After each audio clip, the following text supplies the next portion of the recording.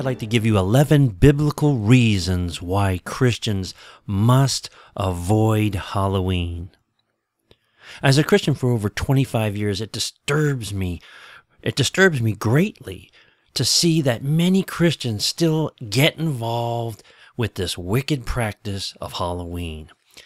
And you know, I'm continually shocked and amazed that many Christians, even those that claims to be Bible believing born again Christians, will think nothing of joining in on this wicked practice, even going along with the variants of it, such as harvest festivals or harvest celebrations that many churches disguise it as.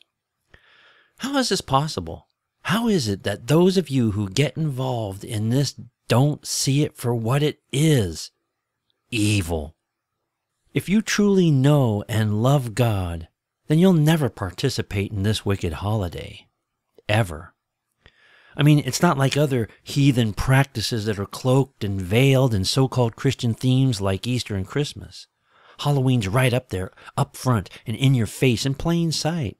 Yet Christians still participate in it. It's shocking. But before we continue, let me ask you from where do you get your authority? Is it from gossip, TV, the internet, social media, magazines, or maybe even the culture? Or is it from God and His Bible? What's most important is what God thinks. Jesus and His Bible must be our rule, authority, and guide. Nothing else for our Christian life is more important. Now, this study is not about the history and origins of Halloween. You can click on the link and the one in the description for a video we did on that some time ago. Rather, this is a message on Halloween, or as it should be named, Halloween, is a wicked and satanic, pagan, heathen celebration of which I tell you again, Christians, you must have nothing to do with it. I want to give you 11 biblical reasons why Christians must avoid Halloween.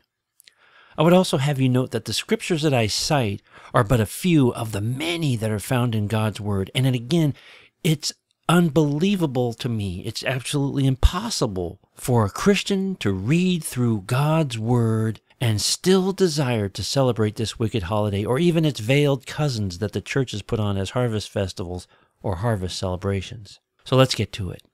Number one, we are to be holy and walk in holiness. The Bible reads in Leviticus 20, verse 7 Sanctify yourselves, therefore, and be ye holy, for I am the Lord your God. Romans 6, 12 through 14. Let not sin, therefore, reign in your mortal body, that you should obey in it in the lust thereof. Neither yield ye your members as instruments of unrighteousness to sin, but yield yourselves unto God as those that are alive from the dead, and your members as instruments of righteousness unto God. And verse 19 says, I speak after the manner of men because of the infirmity of your flesh. For as ye have yielded your members servants to uncleanness and to iniquity, into iniquity, even so now yield your members servants to righteousness unto holiness. Number two, we are to be about peace. Romans 14:19 says, "Let us therefore follow after the things which make for peace, and things wherewith one may edify one another." Number three, it's a work of the flesh. Galatians 5, verses 16 through 23 say, This I say then, walk in the Spirit, that ye shall not fulfill the lust of the flesh. For the flesh lusteth against the Spirit, and the Spirit against the flesh, and these are contrary the one to the other, so that ye cannot do the things that ye would. But if ye are led of the Spirit, ye are not under the law. Now the works of the flesh are manifest, which are these adultery, fornication, uncleanness, lasciviousness, idolatry, witchcraft, hatred, variance, emulations, wrath, strife, seditions, heresies, envyings, murders, drunkenness, revellings, and such like, of which I tell you before, as I have also told you in time past, that they which do such things shall not inherit the kingdom of God. But the fruit of the Spirit is love, joy, peace, longsuffering, gentleness, goodness, faith, meekness, temperance. Against such there is no law. Number four, it's a heathen practice. Leviticus 18, verses 24 through 29 tells us, Defile not yourselves in any of these things, for in all these the nations are defiled which I cast out before you, and the land is defiled. Therefore I do visit the iniquity thereof upon it, and the land itself vomiteth out her inhabitants. Ye shall therefore keep my statutes and my judgments, and shall not commit any of these abominations, neither any of your own nation, nor any stranger that sojourneth with among you. For all these abominations have the men of the land done, which were before you, and the land is defiled. That the land spew not you out also, when ye defile it, as it spewed out the nations that were before you. For whosoever shall commit any of these abominations, even the souls that commit them shall be cut off from among their people. And Jeremiah 10:2 says, Thus saith the Lord, Learn not the way of the heathen, and be not dismayed at the signs of heaven, for the heathen are dismayed at them. Number five, we are to have no fellowship with the devil. 1 Corinthians 10, verses 20 and 21 say this But I say that the things which the Gentiles sacrifice, they sacrifice to devils and not to God. And I would not that ye have fellowship with devils. You cannot drink the cup of the Lord and the cup of the devils. Ye cannot be partakers of the Lord's table and the table of devils. Number six, it's deceptive. 2 Corinthians 2:11 says, "Lest Satan should get advantage of us, for we are not ignorant of his devices." And 1 Peter 5:8, "Be sober, be vigilant, because your adversary the devil, as a roaring lion, walketh about, seeking whom he may devour." Number 7, it involves darkness. 1 Samuel 2 9 says, he will keep the feet of his saints, and the wicked shall be silent in darkness. For by strength shall no man prevail. Romans 13, verses 12 and 13. The night is far spent, the day is at hand. Let us therefore cast off the works of darkness. Let us put on the armor of light. Let us walk honestly as in the day, not in rioting and drunkenness, not in chambering and wantonness, not in strife and envying and First Thessalonians chapter 5 verses 4 and 5 say, But ye, brethren, are not in darkness, that that day should overtake you as a thief. Ye are all the children of light and the children of the day. We are not of the night, nor of darkness. Number eight, it glorifies death. Exodus chapter 20, verse 13 reads, Thou shalt not kill. Deuteronomy 14:1 Ye are the children of the Lord your God. Ye shall not cut yourselves, nor make any baldness between your eyes for the dead. Psalm 106, verse 28 They joined themselves also unto Baal Peor, and ate the sacrifices of the dead. And Matthew 22, verse 32 reads, I am the God of Abraham and the God of Isaac and the God of Jacob. God is not the God of the dead, but of the living. Number nine, it is evil. Genesis chapter 2, verse 17 reads, But of the tree of the knowledge of good and evil thou shalt not eat of it, for in the day that thou eatest thereof thou shalt surely die.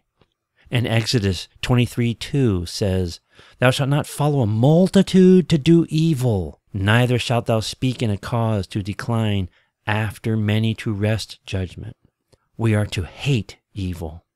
Proverbs 8:13 says the fear of the Lord is to hate evil, pride and arrogancy and the evil way, and the forward mouth do I hate. Romans 12 verse 9 Let love be without dissimulation, abhor that which is evil, cling to that which is good. 1 Thessalonians 5, verse 22 abstain from all appearance of evil. Psalms chapter 97, verse 10 Ye that love the Lord hate evil. He preserveth the souls of his saints and delivereth them out of the hand of the wicked. Number 10. It's full of witchcraft, magic, sorceries, and enchantments.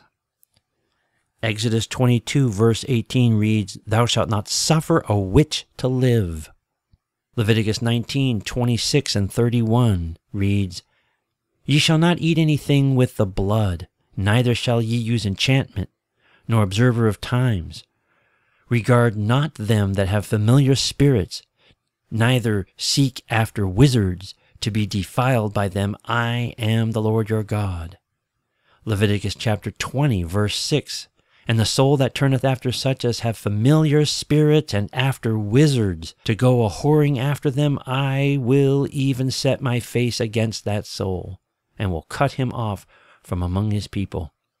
And Revelation chapter 9, verse 21 reads, Neither repented they of their murderers, nor of their sorceries, nor of their fornication, nor of their thefts. And number 11, we are to fear the Lord. And brethren, that means that we are to not fear, not to be led into fear as this Halloween and haunted houses and things like that do. We are to fear the Lord only. And this is proven in Deuteronomy chapter 6, verses 2 and 13. And it reads, That thou mightest fear the Lord thy God, to keep all his statutes and his commandments, which I command thee, thou and thy son and thy son's sons, all the days of thy life, and that thy days may be prolonged. Thou shalt fear the Lord thy God, and serve him, and shall swear by his name. Deuteronomy chapter 10, verses 12 and 20. And now, Israel, what doth the Lord thy God require of thee, but to fear the Lord thy God, to walk in all his ways, and to love him, and to serve the Lord thy God with all thy heart, with all thy soul? Thou shalt fear the Lord thy God. Him shalt thou serve, and to him shalt thou cleave and swear by his name. 2 Timothy chapter 1 verse 7 reads, For God hath not given us the spirit of fear, but of power and of love and of a sound mind and 1 John chapter 4 verse 18 says there is no fear in love but perfect love casteth out fear because fear hath torment and he that feareth is not made perfect in love. So there you have it. I have given you 11 biblical reasons why christians must avoid halloween. Do it brethren. Avoid it. Stay away from it. Don't participate in it and don't get involved in the fake celebrations that that churches put on. Avoid it. Leave it. Cling to the Lord God, and you will be blessed. Thanks for watching.